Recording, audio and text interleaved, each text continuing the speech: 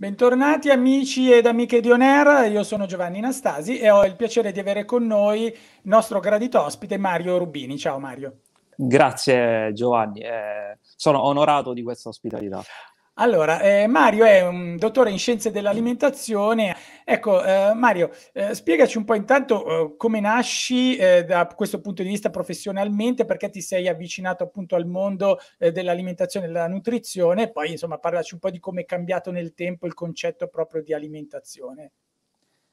Allora, io ho iniziato sempre comunque ad essere affascinato un po' dal mondo dell'alimentazione e nutrizione perché sono stato sempre uno sportivo e quindi ho voluto sempre capire come eh, anche l'alimentazione interagisca in, uh, nelle certo. prestazioni. Perché eccetera. bisogna dirlo, eh, l'alimentazione è strettamente legata al mondo sportivo, cioè solo lo sport senza una giusta alimentazione non, non si ottiene nulla, insomma. Assolutamente, questo sì, e diciamo tutte e due sono, devono essere sempre bilanciati nel, nel, nel, giusto modo, ok? Soprattutto per l'intensità dell'esercizio fisico, dello sport, anche dei sistemi energetici che si utilizzano, quindi bisogna essere sempre eh, coscienti di quello che si fa eh, come attività sportiva e quindi combinarlo giustamente con l'alimentazione, con i giusti nutrienti eh, che ti servono per soddisfare quelle esigenze. Ecco, tu hai eh, notato che manchi proprio questa consapevolezza eh, nelle persone? Allora, questo sì, perché anche eh, i non sportivi, diciamo, dovrebbero avere la consapevolezza di quello che, che mangiano perché eh, soprattutto in termini, diciamo, non solo di calorie così, ma in termini proprio di macronutrienti, eh, di cui si compongono gli alimenti, eh, dei micronutrienti anche, quindi delle vitamine, eh, dei minerali, tutto quello che ci serve anche per stare in salute. Eh, non c'è mh, il bisogno di comunque eh, estremizzare le cose o eliminare determinati alimenti per soddisfare eh, determinate richieste dietetiche, eccetera. Bisogna sempre bilanciarle. Per bilanciare queste cose bisogna solamente eh, conoscere proprio gli alimenti e quindi avere la giusta educazione di, di quello che si mangia. Insomma, questo è, eh, diciamo, un uh, argomento che va contro quello che è il fai da te, cioè bisogna rivolgersi a un professionista come te, per esempio. Cioè, l'ideale eh, sarebbe questo.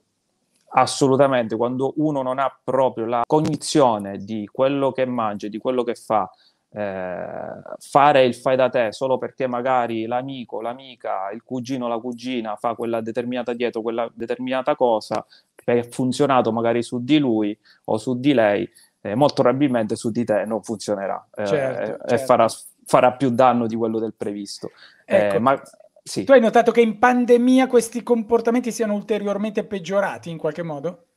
Allora, in pandemia assolutamente sì, per vari motivi, perché, soprattutto perché non c'è la cognizione di quello che si mangia, soprattutto perché comunque stando poi in casa la richiesta energetica si è molto abbassata, quindi non ci siamo mossi più per andare a, neanche a accendere la macchina, per dire.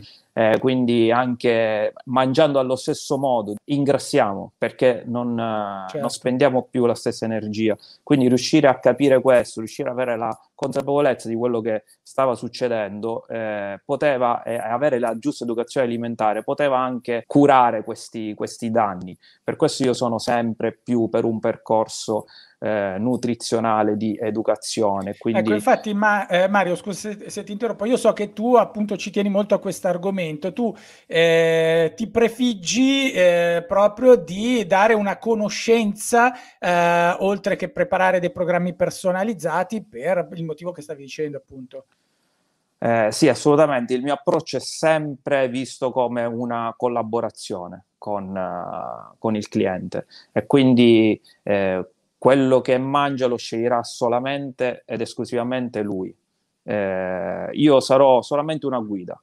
Okay. Eh, questo a me interessa perché poi eh, ne otterrà solamente dei risultati per tutta la vita molto più concreti perché avrà acquisito delle conoscenze che prima magari non aveva e quindi potrà gestirsi questa eh, fantomatica dieta, come la chiamiamo tutti noi, eh, in maniera assolutamente indipendente perché avrà la conoscenza già e quindi avrà capito come eh, funziona e quali sono veramente i meccanismi che funzionano per raggiungere il suo obiettivo.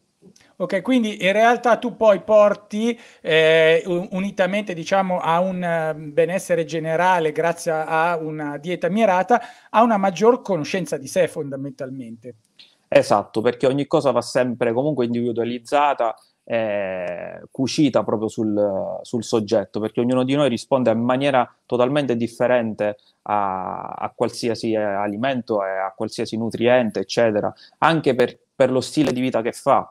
Eh, e comunque bisogna anche indirizzare le persone verso anche il miglioramento del proprio stile di vita e quindi anche inserire più attività fisica eh, il più possibile, essere più attivi, eh, soprattutto con il lavoro che, è, che, c'è stato nella pandemia dello smart working, questo un po' anche eh, un po' rovinato, diciamo, la, la, salute e l'estetica delle persone, perché comunque sì. eh, il, mo- il, movimento diciamo che è fondamentale ed è alla base della salute tanto quanto la, la dieta e l'alimentazione. Allora, io intanto ricordo uh, ai nostri ascoltatori i tuoi profili eh, social, quindi Facebook, eh, trovate Mario come Merio Nutrition, quindi non come Mario ma come Merio Nutrition, sì. I- un po' alla sì, barese, so- Merio. Esatto, un, un soprannome che fin da piccolo mi, mi hanno affibbiato. Allora, Instagram invece è Mario Rubino, eh, tutto sì. attaccato, e Mario Rubino lo trovate anche come YouTube. E poi, siccome parlavi di sport, diciamolo, tu hai anche gestisci una palestra, giusto?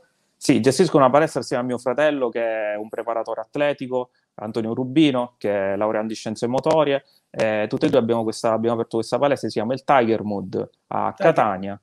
Sì, e ci occupiamo okay. proprio di allenamento. Allora, se volete diventare delle vere, vere e proprie tigri, dovete frequentare esatto. il Tiger Mood. E io direi di lanciare anche un, Insta, eh, non un Instagram, un hashtag per eh, aumentare le visualizzazioni di questo video per chi ti vorrà venire a cercare lì nella zona dove sei appunto del catanese. Quindi eh, eh mh, benessere, alimentazio- hashtag alimentazione benessere Catania, direi che è un hashtag perfetto per intercettarti e aumentare le visualizzazioni visualizzazioni e poi so che anche hai un profilo, eh, um, un sito eh, web, se lo vuoi ricordare così per i nostri ascoltatori eh, eh sì.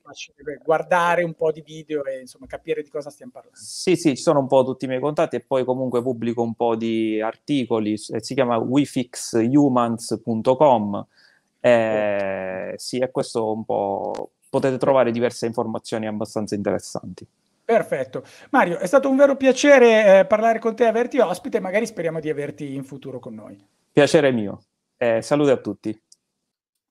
Benissimo, eh, dopo questa bella storia di sport, alimentazione e benessere, rimanete collegati perché ci sono altre chiacchierate che ci faremo molto interessanti su On Air. Da Giovanni Nastasi per il momento è tutto.